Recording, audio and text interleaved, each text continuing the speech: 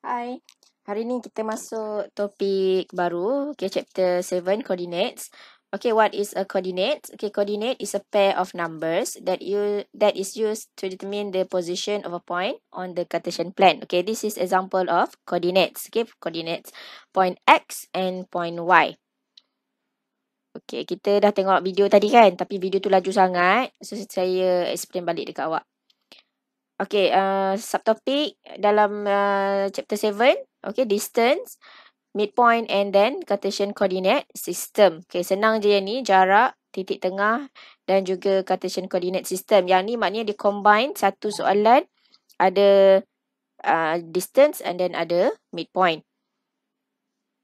Okay, kita pergi kepada 7.1, distance in Cartesian coordinate systems. Okay, jarak dia dalam sata Cartes. Okay, jarak Okay, is measure. Okay, uh, sorry. Um, distance between two points means measurement of distance or length between two points. Okay, jarak di antara dua titik. So, ada two formula. Okay, first, formula for common axis. Okay, common axis tu apa? Okay, common axis means uh, two points okay, have the same y coordinates or x coordinate. Okay, dua dua point tu dia ada satu koordinat uh, dia ada dua koordinat yang sama. Sama ada y yang sama ataupun x yang sama. So common exist. Maknanya kalau contoh dekat sini kalau awak tengok kat sini a and b.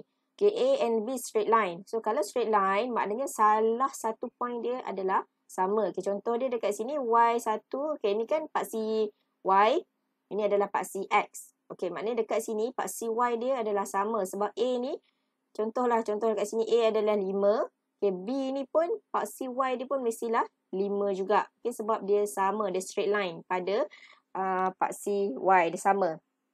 Okay, next, kalau two points have the same X coordinate, maknanya pada point X tu koordinat dia sama. Okay, contoh kat sini C dengan D. Okay, dia straight line ke bawah. Bila straight line ke bawah, bermakna point X tu adalah sama. Okay, C dan D dia kongsi nilai X yang sama. Kalau X kat sini 7, Eh banyak sangat. Kalau X kat sini 3. Maknanya kat sini 3. X1 pun 3. X1 untuk C pun 3. That's why ini kita panggil sebagai common axis. Okay. Two points have the same Y or X coordinate. Okay. Itu common axis. Ni formula dia. Nanti kita tengok contoh. Okay. This one is for no common axis. Okay. Kalau no common axis. Awak kena guna formula X2 minus X1 square. Okay. Plus Y2 minus Y1 square. And then you square root dia punya jawapan. Okay, this one for no common axis. Kita tengok nanti uh, macam uh, masa bila nak guna formula yang uh, no common axis, masa bila nak guna untuk common axis. Okay, contoh, example one. Okay, determine the distance between two points in the Cartesian, uh, in the following Cartesian plan. Okay, distance. Okay, for uh, distance mean jarak. Okay, so for example A, okay, awak tengok kat sini. Okay, contoh dia, ini adalah point A, ini adalah point B. Okey, jarak dia macam mana nak tahu? Kita tengok kat sini. Senang je kan? Maknanya nilai A dengan nilai B, paksi X dia adalah sama. Okey, nilai untuk paksi X tu sama. Okey, cikgu tulis kat sini. Kalau yang tak nampak lagi, tak boleh nak imagine. Oh, payah betul dia nak imagine. Okey, cikgu tulis. Okey, orange lah. Okey, so B, kita baca paksi X dulu. Okey, baca paksi X dulu. Maknanya B ni point dia adalah uh, negatif 1, 2. Okey, A ni point dia, oh tak nampak lah kuning. Try warna lain pula, okay. Um, okay, baru ni. A ni maknanya nilai dia adalah negatif 1, 4.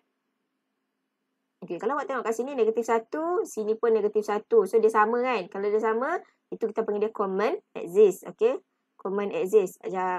Nilai axis yang sama. So, nak, macam mana nak tahu jarak dia? Dia ada dua cara. Sama ada awak kira je kotak ni. Okay, jarak dia maknanya daripada AB, jarak dia adalah 1, dua, tiga, empat, lima, enam. Okey, kalau dia bagi kotak, senanglah awak nak kira. Enam, maknanya jarak dia adalah enam.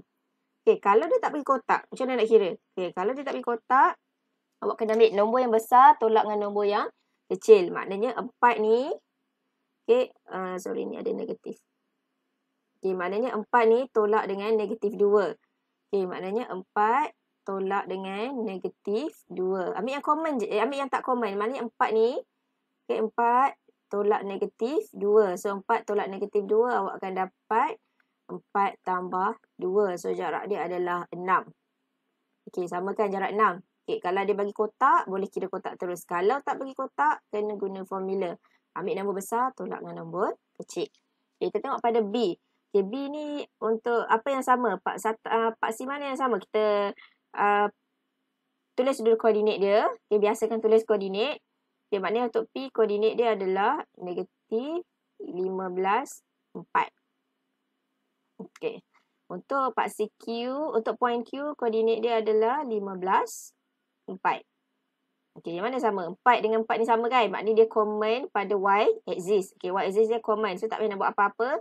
Okey, macam mana nak kira jarak? Ambil nombor besar. Okey, tolak dengan nombor kecil. So, maknanya 15 tolak dengan negatif 15. Okey, so awak akan dapat 15 tambah 15 So jawapan dia adalah 30 unit. Okay, jarak dia adalah 30. Okey, boleh faham? Oh, ada cikgu buat kat sini. Ha. Tapi tak apalah, dia tunjuk je kan. Okey, sekarang kita pergi kepada calculate.